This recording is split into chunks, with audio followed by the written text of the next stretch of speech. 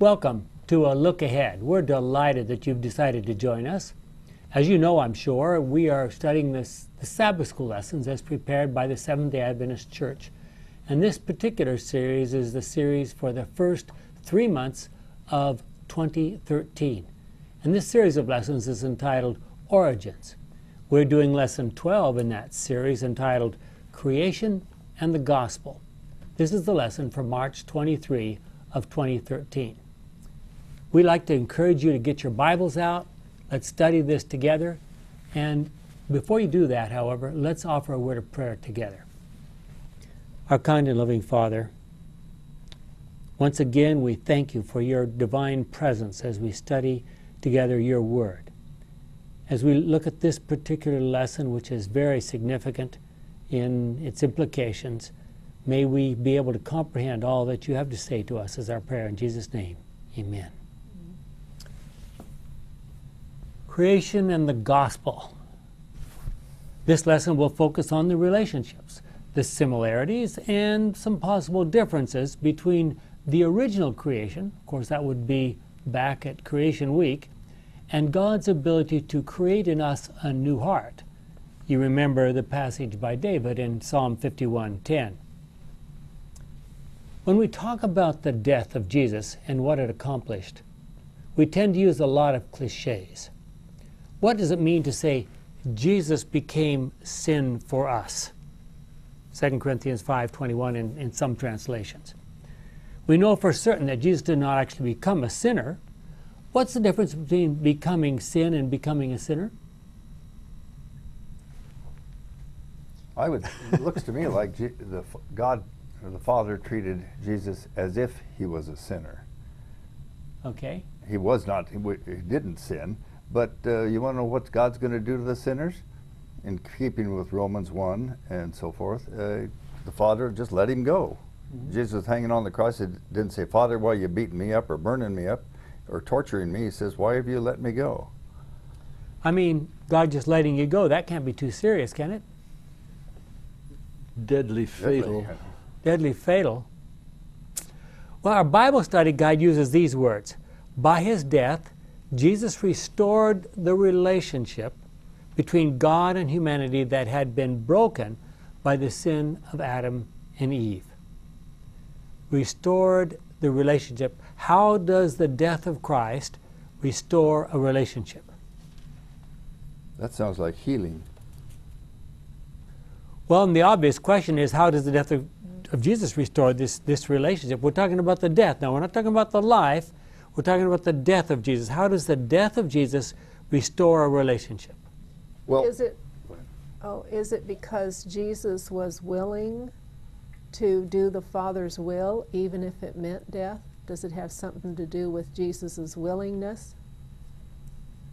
Okay, well, you know that some groups down through time have, have taken this in a very mystical sense, meaning that, you know, somehow or other, even though we live, you know, 2,000 years later, that our spirits or our souls or something else like that were, were mystically combined with Jesus and that we died to sin in his body and therefore that's why God is able to save us because we've already died um, to sin long, long ago.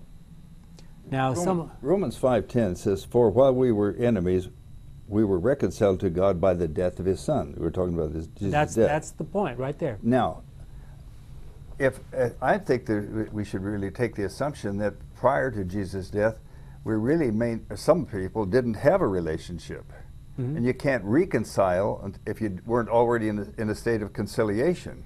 Am I making sense, or? Mm-hmm. Well, we, we, uh, no, we use that, uh, but is the is the word that is translated as reconciled? Uh, is reconciled the proper word for the for the Greek? The, the well, let's reconcile means to, to bring, bring together, two, bring two people and together. that has to do with healing. Yeah. Okay. Uh, well, at in fact, one, we're reconciles safe. at one okay. in, in, in, in, its That's original right. meaning. Okay. okay? Uh, other people would say that the blood of Jesus paid a legal penalty. No. I think that there was a debt that was owed.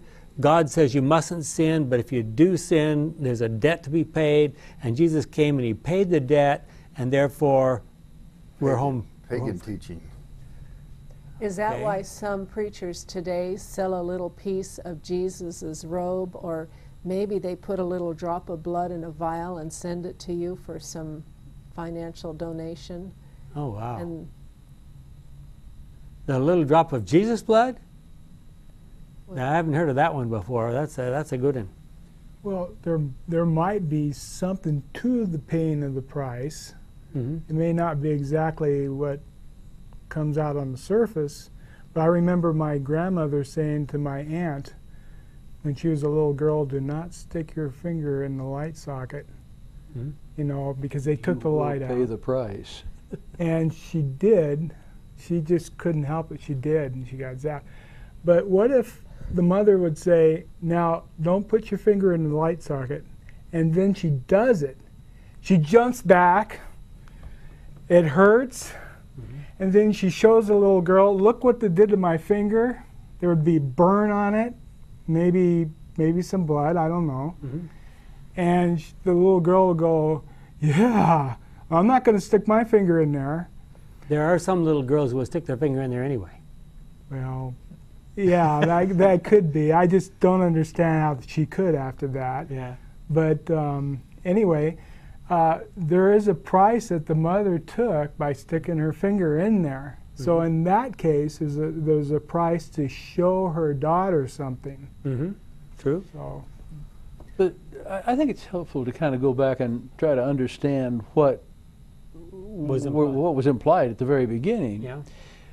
When Eve was in discussion with the with the with the serpent in the tree, she was in her mind having to contend with do I believe my creator or is this creature in the tree giving me more information that uh, and so she had to make a decision for or against her creator. Mhm.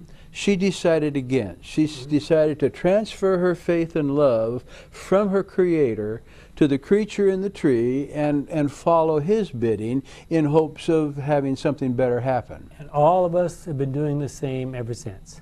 in that process, she and Adam lost their connection with divinity. Mhm. They used to be able to talk with God in the garden, and that disappeared. The issue that Satan says is humanity can't do what God wants you to do. Mhm. So Jesus basically said, I'll become a human. I have humanity I have a connection with divinity. I can talk with my Father. And I will come down and I will go through everything the devil can throw at me. And I will depend upon my Father. And by doing that successfully, he did, now he has a right to give us a connection with the Father through him.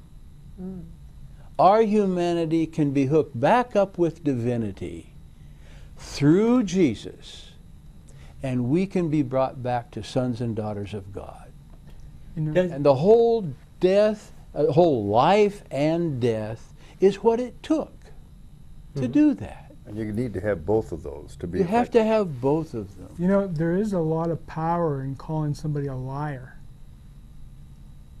I mean, even calling God a liar. I just thought about this the other day when I was going through the the um, cafeteria line. Somebody came with their um, their little tray thing closed, and she she told the cashier exactly what she had in there. Now, what if I would have said, "Uh-uh, she's got more than that"? What do you think the cashier is going to do? Probably felt like it was necessary to open up and look. That's right. And um, in a way, that that power happened then when Satan called God a liar. hmm Yeah. Well, is it possible that the death of Christ teaches us some kinds of lessons about Satan versus God versus the Father that makes it more possible for us to relate to God? Sure. Satan instigated people to whip and punish their creator. And he caused people to do things that if the people had thought it out, they wouldn't have done. And sometimes I think in life we can react to people who cause us to do bad things that we would normally not do. And I think that that's satanic. Is Satan is an instigator. He won't do the dirty work, but he'll get you to do the dirty work. And I think we see, I don't want anything to do with a being that uses people to create, to, to, to uh, torture and kill their creator. What, what do you think was more difficult? Getting back to our original question, which do you think would be more difficult? Now, none of us have the power to create life out of de novo, so this is sort of a hypothetical question.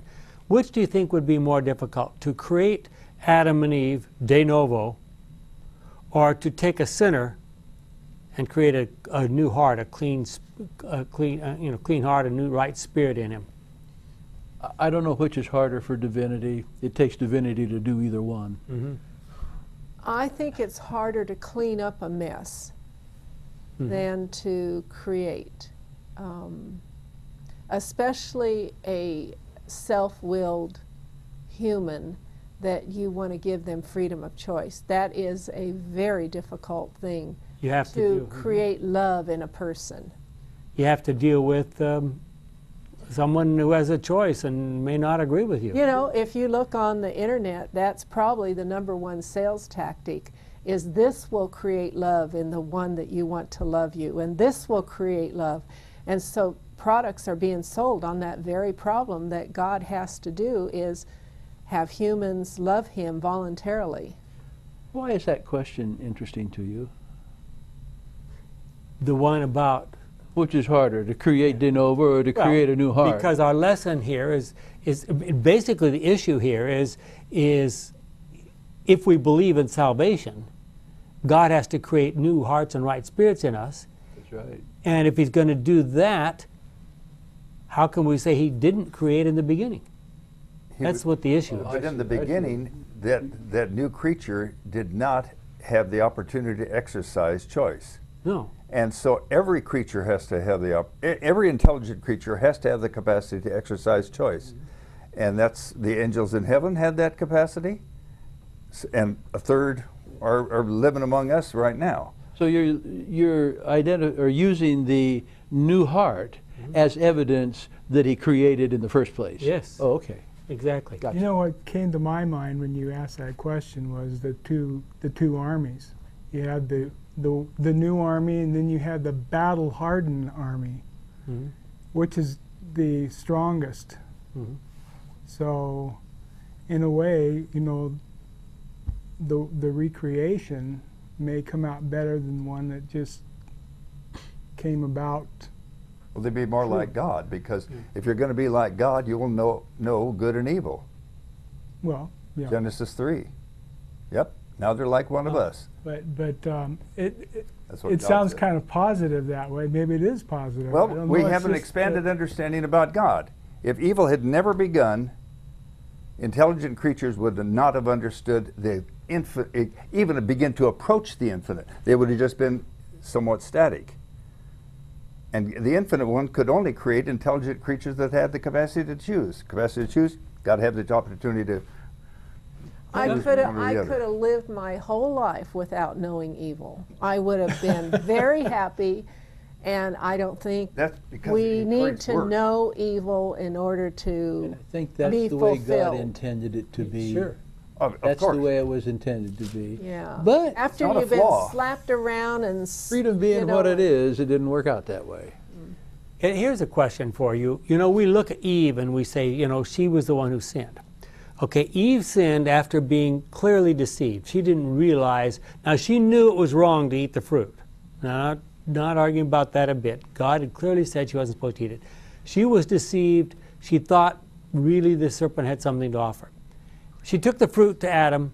He did not hear the serpent. He did not hear the devil's voice. He did not hear his arguments, which probably were fairly extensive, more than what we have recorded in Scripture. And he said, Give it to me. So who sinned worse, Eve or Adam? Adam chose Eve over God.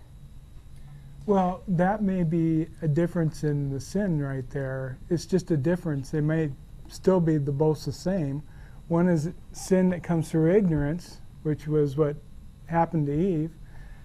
The sin that came through Adam is this sin of misplaced values.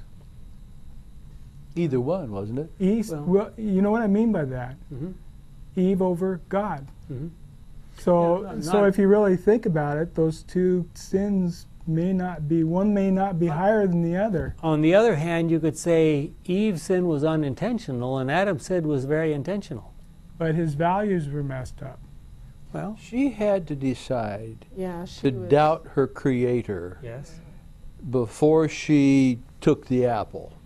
She was intentional. And Adam had to do that too. Yeah, they're- in that sense, had they're the same. Adam had to make the decision for which is most valuable, Eve God or Eve. That's Eve right. did two That's right. things. She I left agree. Adam's side, and she uh, listened to the serpent. So she did two things. Okay, what happened next is recorded in Genesis 3.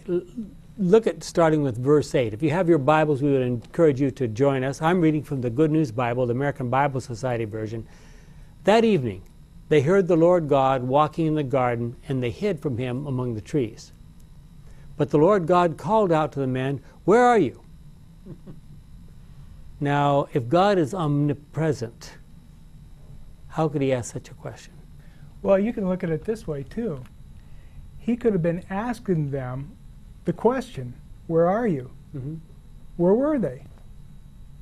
I mean, he- he's asking them. Well, he, he, they just sinned. Where are they? Mhm.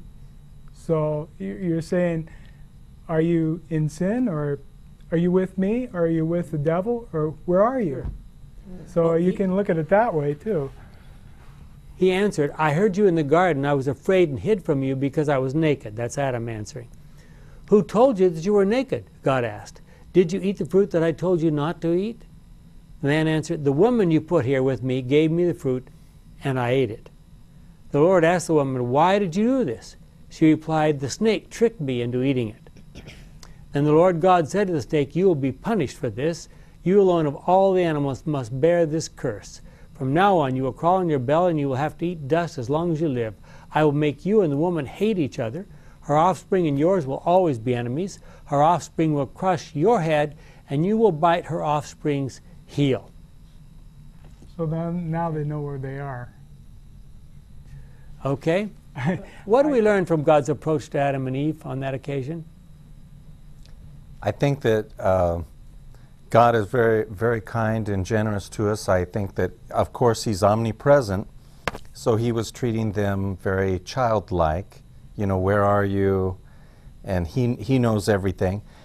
And I I'm not sure. You know, Adam, Eve. You know, they both sinned, obviously, but I think because they did not have all of that knowledge that they were very childlike. And, and certainly the Bible teaches us that we knew before the creation of the world that man would fall and this plan of salvation was already laid out. So I think, I think um, it, they were very childlike. And yes, they were guilty. Yes, they did wrong. But God laid out this beautiful plan for us, which included us. But it's very interesting in here uh, where Adam kind of blames God. Mm-hmm. Eve know. blames God. And uh, Well, both of them blame yeah, God. Adam said, "The woman that you put here with me," and uh, so it's kind of they're very childlike. And I think that today, even with all the knowledge that we have, and we're very sophisticated and we know so many things, I think we're very childlike too. And I'm, I'm so grateful to the Lord that He forgives us again and again. Well, there's two. There, God had three choices, and we'll think about these as we move along. He could have said, You know, I warned you. I told you exactly what would happen. You sinned. Okay, that's it. and they're dead.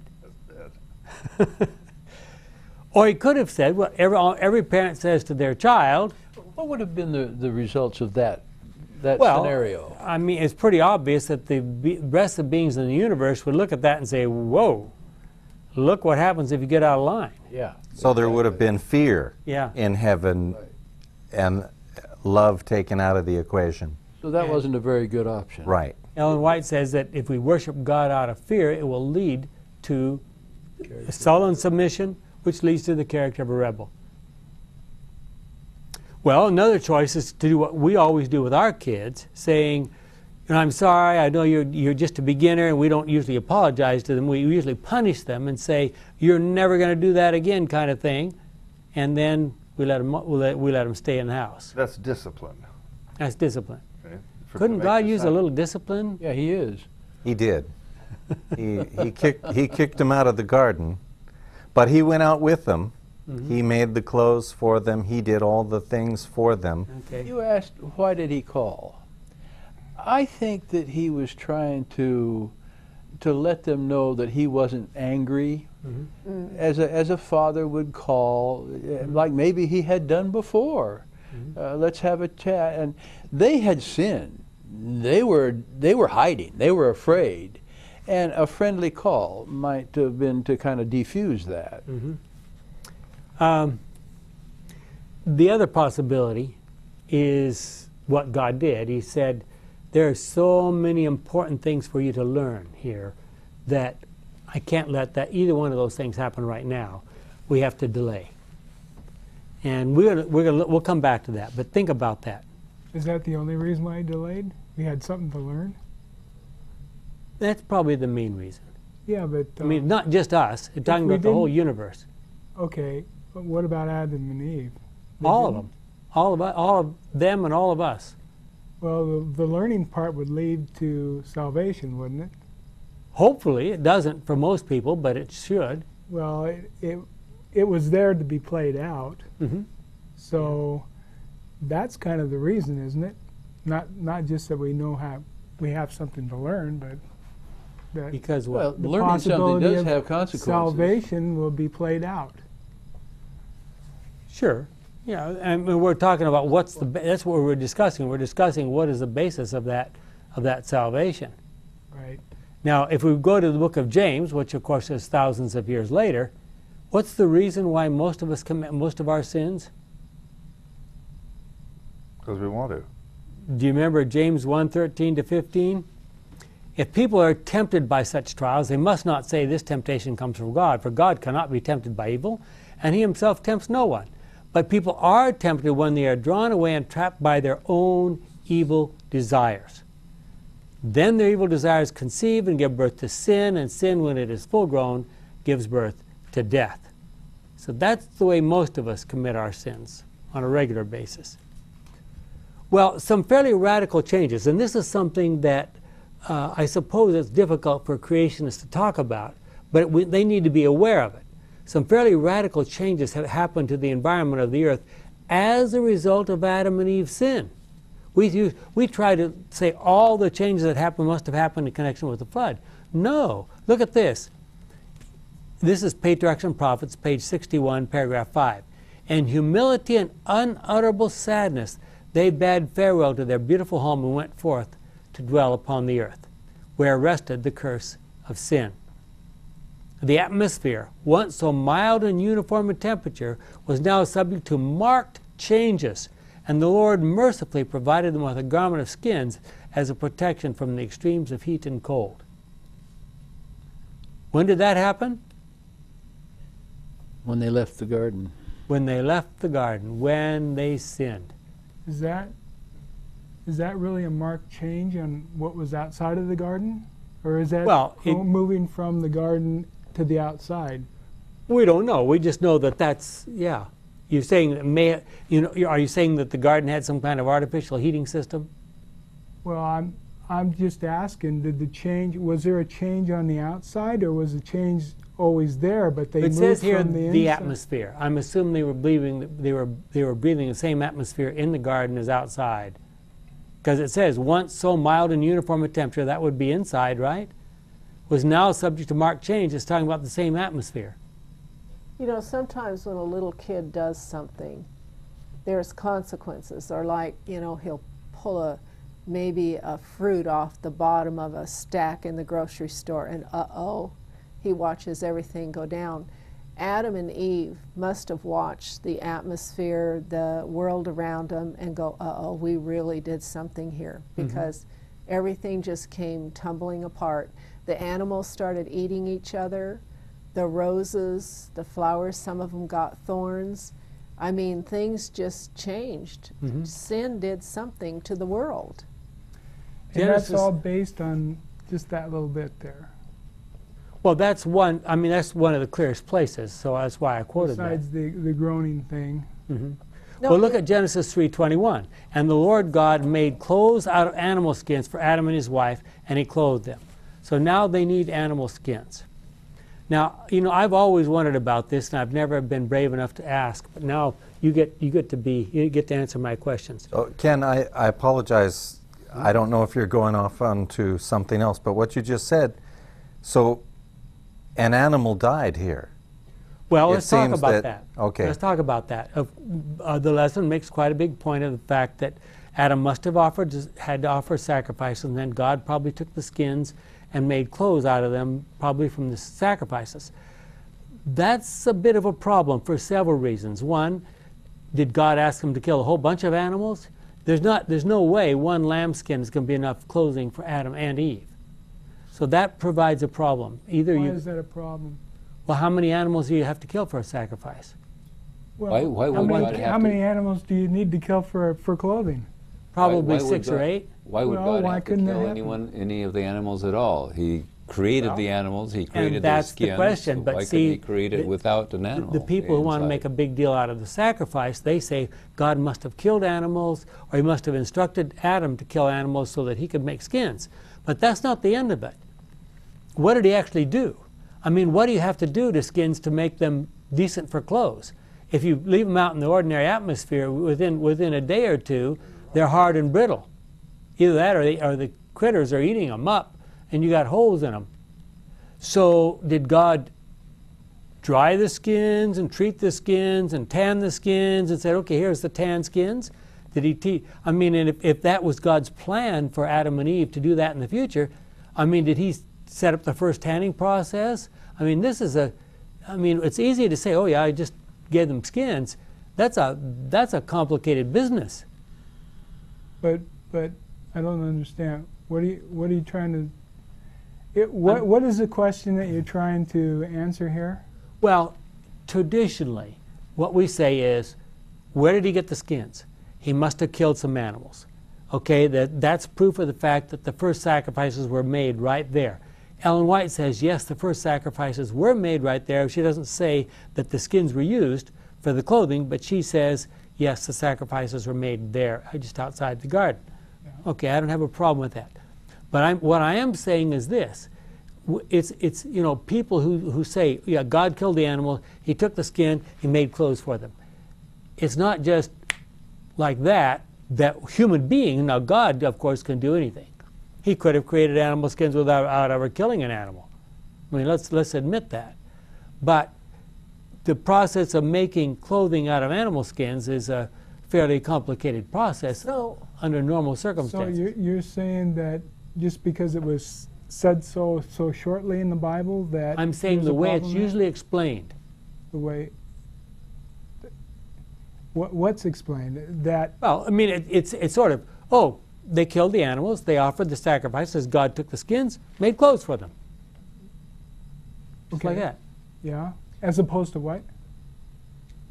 Well, if you do that, I mean, I don't, I'm just, I, don't, what, I don't know what you're missing. If you do that, very quickly the skins, at least the skins we have now, will become hard and brittle and completely unacceptable to be skins, So you're to be, to be clothing. You're saying, okay, so you're saying that just because it, the process wasn't named in the Bible here, that they didn't do the process? I, I'm saying that God may have done the process, but that, I mean, one set of animal clothes is not enough. Is- is- did he teach Adam and Eve how to do tanning? I have a question. Yeah. Sacrifices, they were burned whole. They weren't skinned. In some cases. Well, in, in Yeah, the, in that's the true. service of, of the Israelites later, Yes. They weren't skinned and the meat just thrown on and the hides Mm-hmm. Done some, somewhere point. else. You know, so God could have then um, had them sacrifice an animal, but miraculously uh, uh, created the skins that went over Adam and Eve because Doesn't say that just a though. minute, because creating the skins is a multi-day process. So he had to do something creating quickly. clothing out of skins. But, Yeah, but- but creating- why, then, then how would Adam know how to do more clothes, like for the children and things like that? He could Exactly. always learn later. Well, but it's a Yeah, process. but why? But the, the point, and, and the lesson goes on, and the reason I'm bringing this up because the lesson goes on and say, well, you know, here they are wearing the skins of these animals. What did it make them think? Did, did Adam think, okay, here I'm wearing this this death mask in effect because I had to kill this animal to get this skin? Did it did it remind him of God's promise of a plan of salvation? Uh, what did what did the animal what did Adam and Eve think wearing this skin? That that the lesson Oh, goes I on. could- I- Yeah, I see what you mean now. Perhaps, per, I'm sorry, Gary, go ahead. That, that every time they would see their clothes, that now they would, it would remind them what would, what Yeah. had happened. Okay. And perhaps over the several day period of time of making these clothes, Adam and Eve fe- still felt the shame of being naked, or, or at least partially naked as they hid themselves with leaves or whatever. Mm-hmm. And perhaps the tanning process was accelerated. But I do, I do believe that this sacrifice showed the coming salvation and the Lamb of God being sacrificed, And the fact that sin leads innocent to death. life. It shows that sin leads to death. Yes. Well, one of the most important points in all of this that we sometimes jump right over and don't don't talk about, although we sort of know it in the back of our minds, that only God can give life. Now, modern scientists have tried in all sorts of ways to try to, to figure out how to reproduce life. They can't even reproduce life. I mean, even though they have the pattern sitting in front of us. Okay, this is the way you do it. Say, okay, th- this is the way God did it. Here it is. Let's see if we can reproduce it. They can't. Nobody has ever made even one cell, the smallest cell, a bacteria. Nobody, no human being has yet created a bacteria that was a Bible. Something about breathed into it the breath of life, isn't it? Hmm. The best they can do is a robot. Yeah, well, they're working on that. Well, there is one thing, they can kind of spread it around like fire. Well, what we have what we have discovered is very effective ways of killing people. Well, that's true, but I'm talking about like, like with um, skin grafts, things like that, um, Yeah. breeding, that kind of thing. But what is what is special about this life? I mean, I'm you know if you could you know I, I've seen this and I haven't seen it for a long time, but they used to say you know you could if you took all the chemicals in the human body and separated them out and you made them put them in little jars or whatever, they'd be worth a few dollars. Okay. 79 cents worth of iron. I see, whatever. Enough for a nail. Well, that, was, be, that was before inflation, so I'm Okay. Well, anyways, What's if- special is that we can think and determine what we're going Ah. to do. But what the question is, what's the difference between those few bottles of chemicals sitting here and me? That's the question. The difference is God. Oh, there he was, all made out of the dust of the earth. But he wasn't So going we're- anywhere we're until nothing- God breathed into him the breath of life. and And then the metabolism began to work and things began to happen. And he was a living soul. And every pro- and the problem really is this. Let's be let's be fair. The problem is that God knew how to put every piece. Now we might be able to reproduce a, a short piece of DNA. We might be able to produce, you know, reproduce some of the proteins, and maybe eventually we can get to a place where we can produce a lot of them. But to put them all together in the right spot and make them work together, that's a completely different story. So we're just common dirt chemicals, and the touch of God makes us into living Yeah. souls. And then we are arguing when does the touch of God come for a embryo? You know, and, and Well, so that's, one of the a- things that people argue about. Yeah. But I it- think if you had all the chemicals lined up there, without the touch of God, you just got a bunch of chemicals laying there. But if you've got one cell That has the touch that's of God. functioning, mm-hmm. it has the touch of God in it. Mm-hmm. And it's interesting to note, in light of that, that only God apparently has the power to give life. We notice in Psalm 59, verse 2, it is because of your sins that He doesn't hear you. It is your sins that separate you from God when you try to worship Him. And what is the result? Now I have a question. Yeah. When God gives a person life, an embryo life, Mm-hmm. um, God is again creating out of nothing. Sure. So God is creating Well- something out of nothing. Technically Like when He created the, the, the world, He created something out of by the word. technically speaking, every one of us, every person who lives on this earth, is still a cell line direct from Adam and Eve. Because there's always been a living cell. The sperm and the egg come together, and, they, and there's another person grows up, and then they pass along a sperm and an egg, or, or sperm or an egg, to the next generation, and so forth, like this. So technically, we are all part of the same living organism. There's not a new No. de novo creation. No. And by the way, I'd like to add that uh, all of us around the world, we're all winners Yes. because we all we all made it. Mm-hmm. I- if anyone gets that, But the Lord, everyone on planet Earth is a winner. Lord, the Lord knew from We the won beginning the who was we gonna won the win. race, huh? We won the race. We won the The race. Lord knew who was who He was already- going to win the He race. already knew who was going to win Yeah. at the beginning. So oh. Now, here's another question that comes here. Who tried to explain to Adam and Eve what would happen when they if they ate the fruit? God did before they ate the fruit. Do you remember what we talked about last time? Maybe it was the time before. Angels do. Said God had done it, but then he sent two angels down to explain exactly what happened to Satan and all of his friends and what would happen to them. Did those angels not do a good enough job? They did a good job. But I, I tell my children all the time about sugar mm-hmm. and don't have sugar, especially if you're if it's cold or flu season or you know, they like that sugar. I think the angels did a good job. I think God did a good job. I think I think we have a problem and we need God. But what's amazing, of course, and people, many people have pointed this out, starting from Paul, uh, back in Romans 5, verses 6 to 11, that God comes into this situation. He doesn't wait. You know, when if if someone wrongs someone else i- in our day, we think, okay, the person who's done wrong, what's he supposed to do? He's supposed to go and apologize for what he did, right? Did God wait for us to apologize?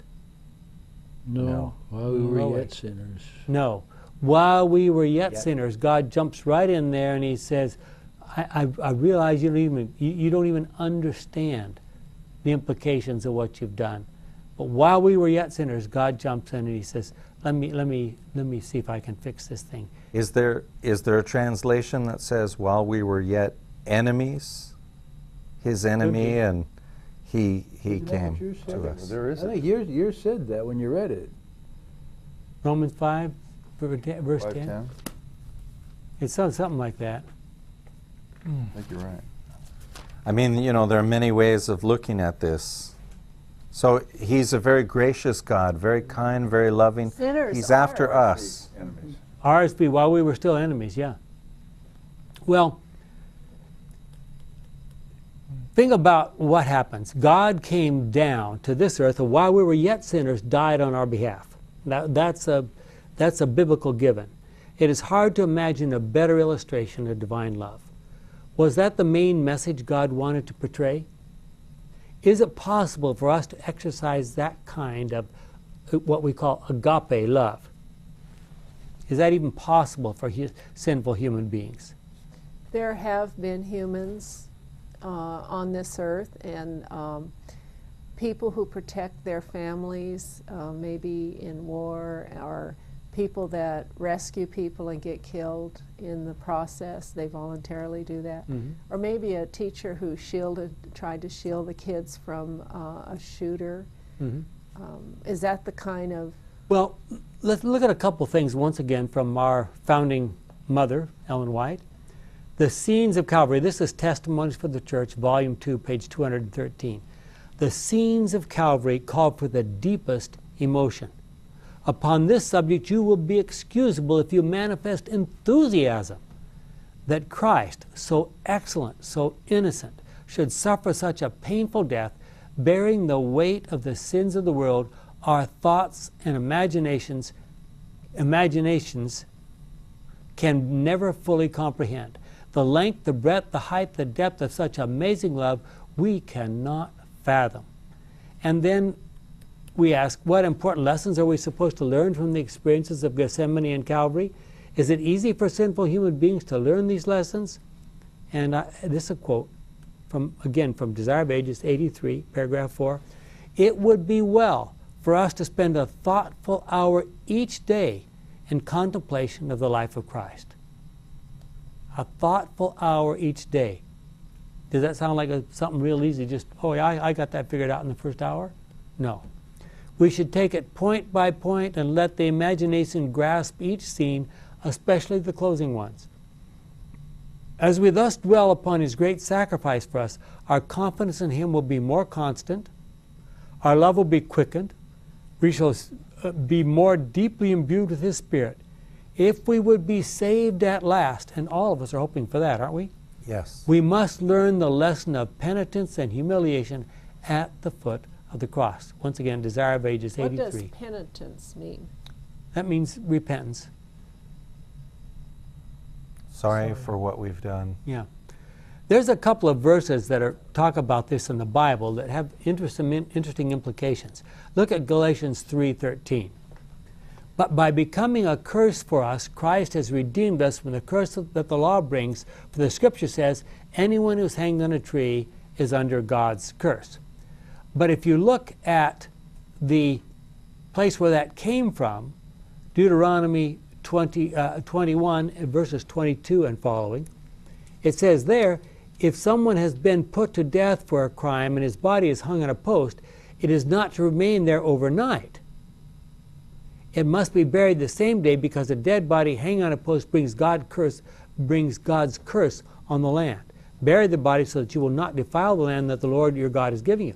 It sounds like the curse comes from leaving the body hanging up overnight. Yes, but they let crucified people usually hang up overnight for several days, right? Did Jesus hang up overnight? No, But that's because they didn't die. He, he died. he died. The other two didn't die. They just had broken legs. But yeah, they took him down off the crosses. Yeah. It's interesting that that statement, I mean, it, you wonder where that idea came from back in the days of Moses because the idea of crucifixion didn't come until the days of the Romans. Oh, that's There wa- interesting. So that was written years before crucifixion. Hundreds, oh, what, 1,500 years before crucifixion was a normal way of killing people. But it's interesting to notice that when, wa- when were bodies left on crosses? The destruction of Jerusalem. Josephus tells us at the destruction of Jerusalem, the Romans outside performing, the, you know, holding this siege, if someone tried to escape, they almost always were caught, and when they, would, they were caught, they would be crucified in full view of the people inside the, the, the wall or looking over the wall, they could see them. And they crucified so many people and left them sta- uh, hanging there that you couldn't even walk between the crosses. I wonder if that's what God had in mind back there in Deuteronomy 21. Now, are the end times supposed to be worse than Yes. the? I mean, we're looking at times that are going to be worse than that. Yes. Well, when you say worse than that, you know, there's a lot of aspects that it could be worse than. Yeah. I mean, I don't know if you couldn't even walk among bodies, they're so thick. How can you get them any thicker? I mean, Yeah. it's still terrible, but, but there I may mean, be some and other that scene, that scene is scary. And you know that you know that Ellen White on several occasions makes a very direct direct comparison between the destruction of Jerusalem and the end of the world. Mm-hmm. Mm-hmm. Very direct comparison on several occasions. Is there a an account of the destruction of Jerusalem? What happened and what was going on? Yeah. Because I mm-hmm. mean, you're talking outside of the Bible? yeah, Yeah. Josephus, mainly Look it up on the internet. There's all kinds of information. It's pretty, pretty horrific. You can, we can comprehend what went on there. But we're told that there's no way to comprehend how it will be at the end. We just can't conceive of how awful it will be. Worse than anybody can imagine. Well, That's right. you know, that just happened in Jerusalem. That what's going to happen in the end is all over the world. Mhm. So in that respect, it's At bigger. least that respect. Well, let, let's look, because we're supposed to be looking back at the cross and talking about the, the salvation. We know that Christ was not a sinner. He never committed a single sin. So, what was it that he took upon himself on the cross? Was it the guilt of our sins? Or perhaps the responsibility for our sins, in some sense? Does God take responsibility for sin because he allowed human freedom? Well, God, as I see it, God cannot live with sin. Mhm. And so Christ, all the sins were laid on him, and God had to um, separate himself from Christ because Christ was sin. And it shows that God and sin are like water and oil, just incompatible. Okay. Well, look at these words. This is um, Desire of Ages 753, first paragraph. Upon Christ as our substitute and surety, now those are precious words in the minds of a lot of people, was laid the iniquity of us all. He was counted a transgressor. Doesn't say he was a transgressor. He was counted a transgressor that he might redeem us from the condemnation of the law. The guilt of every descendant of Adam was pressing upon his heart. How does that work? I mean, he obviously he knew he wasn't he he hadn't committed those sins. He knew he wasn't responsible. The wrath of God against sin, the terrible manifestation of his displeasure because of iniquity, filled the son of the soul of his son with consternation. All his life, Christ had been publishing to a fallen world the good news of the Father's mercy and pardoning love. Salvation for the chief of sinners was his theme. But now, with the terrible weight of guilt he bears, he's bearing what kind of weight? Guilt. Guilt. He cannot see the Father's reconciling face. He cannot see it. Okay? The withdrawal of the divine countenance from the Savior. What happened? The withdrawal the divine countenance from the Savior in this hour of supreme anguish pierced his heart with a sorrow that can never be fully understood by man. So great was this agony that his physical pain was hardly felt. Are you saying that Jesus so identified with the human race that he took, he felt the guilt? And when Jesus felt guilty, he could no longer see God? And Well- that's what guilt does to us? what, what we, in light of all the scriptures that we have on the subject, I would say God said, I want you to watch what happens when I separate my, my beams of, Ellen White uses this term, my beams of light and love from a human being by the name of Jesus. Watch what happens. Is the separation? Is it? Is it the sin, or is separation The caused result. by sin? The result of sin. The separation. But you could almost say that the separation is sin, because don't you separate yourself when you sin? Didn't Eve separate herself when she took the yeah, apple? in, in a sense. It's, I mean, the results are, what you're saying is the results are very closely linked to the cause. I think they're both the same, actually. So Well- after we die, when we're facing our judgment or whatever, we will either stay connected to God uh, or God will have to unplug the source of life from us to he won't want to do it but we will have chosen to keep our sin in us so God can no longer keep us alive is that it Well, yeah. And what was the terrible agony that Christ suffered in light of your question? From eternity past, think about this. From eternity past, the Father and Son had been one. They had never experienced separation in any sense. But with the death of Jesus, they experienced, and these are Ellen White's words, the sundering of the divine powers. That's manuscript 93, 1899. What does that tell us about the death of the wicked in the end? And sundering means the breakup, Tearing apart. the tearing apart. Yeah. Many Christians have come to be afraid of God and His judgments while secretly enjoying sin. Is the good news the gospel that Christ has died as our substitute and surety? Did He take our sins upon Himself? The New Testament teaches us that by His death on the cross, Christ will eventually eliminate sin, sinners, and death. But if death was a part of God's way of creating our world in a kind of theistic evolution, how can we say that death is the last enemy? 1 Corinthians 15 26.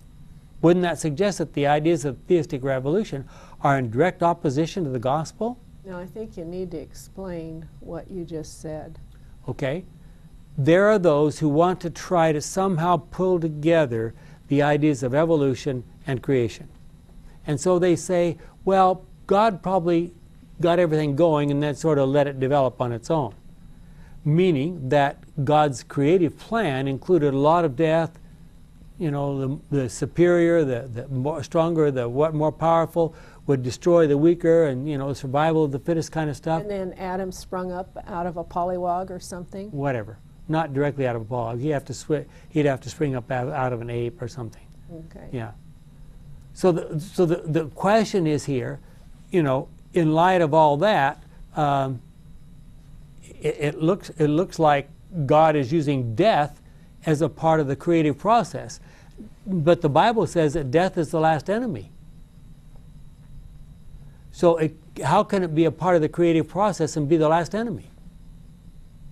It can't. Doesn't look like it. Well, those who believe that, that God the Father, God the Son, and the God the Holy Spirit cooperated in creating our world in the beginning should not have any trouble in believing that they can now recreate us and give us new hearts and right spirits. And of course, the Bible talks about that all the way through from Psalm 51, verse 10, all the way down to 2 Corinthians 5, 17. Are you saying that each one of us has the decision that Eve did? Are we going to believe our Creator or are we going to believe whatever kind of serpents are in the world telling us different things? Daily, Yeah. moment by moment.